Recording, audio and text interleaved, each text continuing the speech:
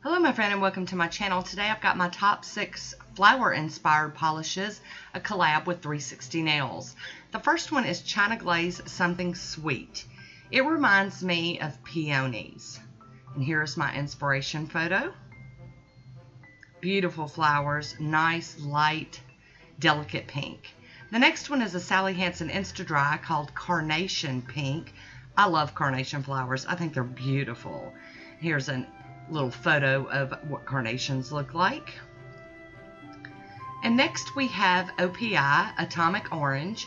And this one reminds me of the daylilies that grow in my backyard. They're just beautiful. I love them.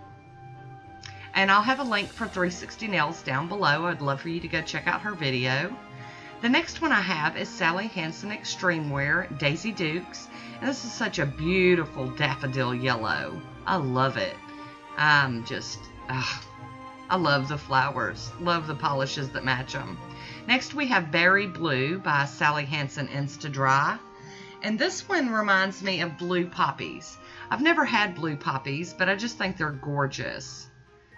Aren't they pretty? And the last one is Zoya Harmony. And this one's the only shimmer that made the cut, and it reminds me of the clematis flowers that grow in my backyard. Beautiful, beautiful flower.